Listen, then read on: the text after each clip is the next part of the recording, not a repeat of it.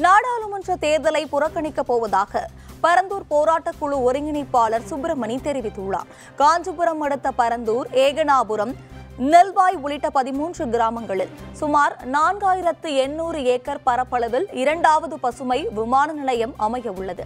விமான நிலையம் அறிவிப்பு வெளியான நாள் முதல் அப்பகுதி மக்கள் நாள்தோறும் போராட்டத்தில் ஈடுபட்டு வருகின்றனர்.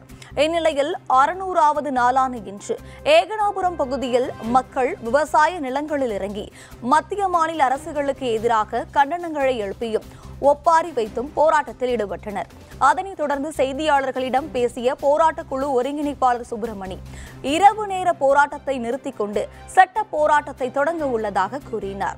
மேலும் நாடாளுமன்ற தேர்தலை புறக்கணிக்க உள்ளதாகவும் அவர் அறிவித்துள்ளார். போராட்டம் இது எச்சரிக்கை எச்சரிக்கை விடியல் அரசுக்கு எச்சரிக்கை.